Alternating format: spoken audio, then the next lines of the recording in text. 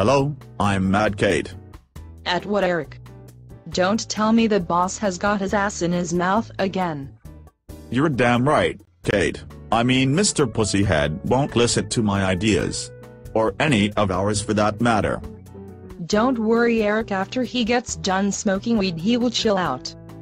I hope so. Because he said my idea was so fucking stupid. He said if I don't come up with another idea by tomorrow, I am going to be working for 12 cents an hour. That's bullshit.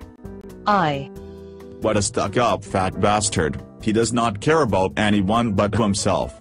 Shit, 12 cents and who semicolon r I wonder what has Mr. Pussyhead acting like such a dick, he used to be cool. You are right Eric, 12 cents an hour. I give my son more allowance than that. That will not even feed your family let alone yourself. You need to sue his cheap ass quick. You're right Kate, thank you. I will get my revenge on that fat bastard if it's the last thing I do. Okay, first coffee. I'm stressed out, I'm pregnant, I'm musty, and I worked my kind some Mexican ass off. Do you think there's snacks left? I hope fat ass did not eat them all. Hope not.